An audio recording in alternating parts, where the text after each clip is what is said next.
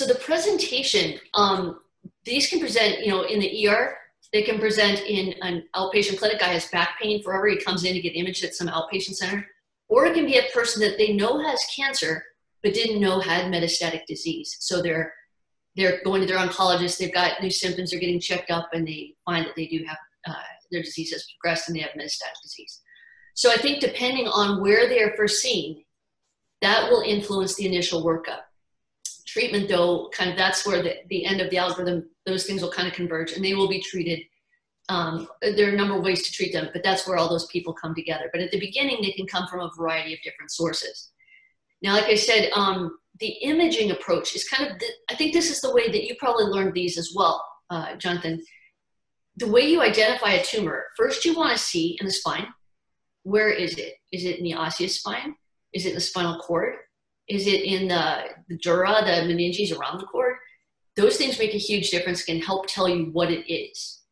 So you find out, so you, you localize it. Where is it? What are your choices in that location? There are only a certain number of choices in any of those spots. And then, based on other factors, you might be able to say exactly what it is, or at least narrow it down to one or two things. So, did I just go too far? This is a nice, ooh, that's bright. Um, this is the most common spine tumors right here, this nice picture that I found. So you can see you have osseous spine tumors on this side, primary bone tumors, extremely rare. Metastatic disease, 80 to 95%. So this is what everybody's gonna see. You can see my arrow, right? Yes? Thank you, okay. The other half of the spine, spinal cord, uh, the nerves and the meninges. So you can have peripheral nerves, which uh, we aren't going to talk about it all today.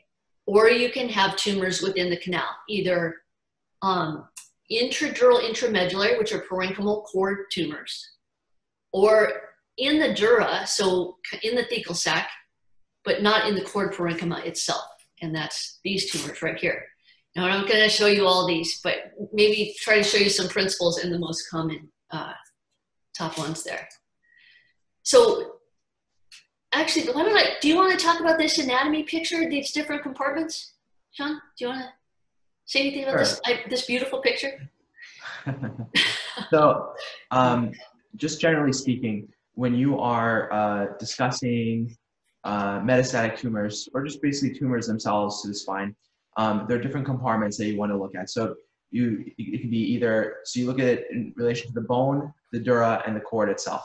Okay, so something can be extradural, um, which you can see there in the right portion of that image, extradural tumors. You see it like it's right outside of the dura. It's either confined to the bone, um, outside of the canal or the foramen, um, or just outside of the dura.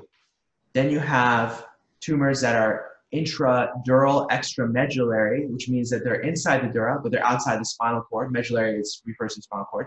And then you have intramedullary tumors which are um, growing inside the substance of the tumor itself. So when you're discussing these tumors, um, or we're discussing uh, spinal cord tumors, or spinal tumors, not spinal cord tumors, spinal tumors with um, your resident or your attending, uh, you get a lot of brownie points if you mention this is a extradural tumor or intradural extramedullary or an intramedullary tumor. You can just those those are the three broad categorizations of the different types of tumors um, that can exist, and each one of them has different um, uh, differential diagnoses and what they could potentially be.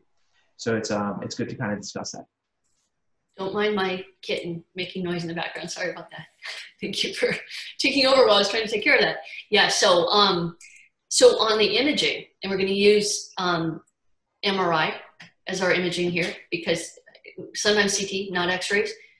This this graphic down here, I'm sure you knew this, but just in case, this is the spine right here. These are the vertebral bodies so this is the thecal sac right here. The middle, the gray is the spinal cord. This green thing is the tumor. So it's cerebrospinal fluid around the cord, and the red is the dura. So we're just saying, so um, I don't, I, there's so many words here. I, I usually like to say parenchymal tumors, but yes, intradural, intramedullary. This will be in the cord, and it's going to expand the cord. This is, keep this in mind, because once you look at images, you'll understand what I'm saying. You'll, if you remember this, it'll help. So it expands the cord, and it narrows the CSF spaces around it. If those two things are happening, it's probably intramedullary, parenchymal cord tumor. if it's within the dura, but it's pushing the cord, so the cord is compressed, not expanded, that's going to be one of these two. So in this case, and I'll show you pictures where you can actually see this. You, you it'll make more sense. Our, our dura is still here on the outside. The tumor is um, expanding this space, compressing the cord, versus this where the tumor is actually coming from the posterior elements here, like metastatic disease, epidural disease, pushing forward, compressing the cord, but you'll see this dural displacement as well.